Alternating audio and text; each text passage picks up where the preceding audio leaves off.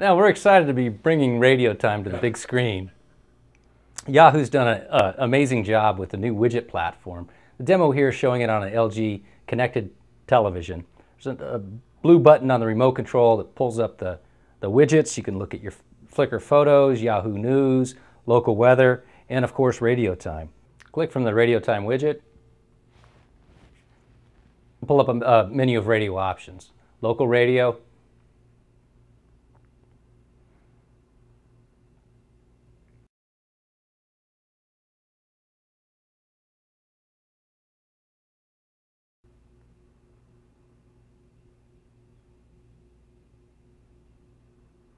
recommendations.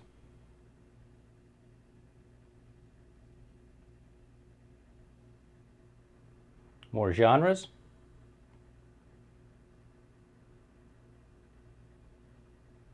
More classical music.